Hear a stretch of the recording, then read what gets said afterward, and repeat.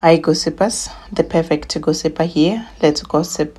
Gossipers, do not forget to subscribe on the channel and to like this video.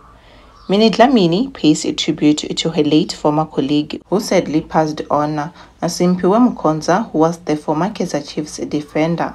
The two worked together years ago. This is what Minnie Dlamini got to say woke up to the devastating news that my brother slash former colleague Simphiwe Mkhonza has passed.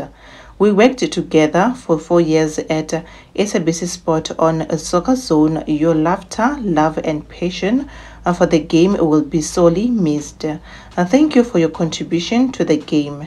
We love you as a player and in our hearts and one of the country's most loved analysts, Rest in Power Mnganwama. Condolences messages poured in, and these are some of the messages Someone said, What a loss for the football fraternity and the country. Where's for his family? We are all travelers in this world.